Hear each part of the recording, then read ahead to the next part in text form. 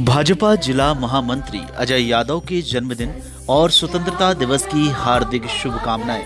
गजेंद्र पटेल सांसद, अजय यादव जिला महामंत्री।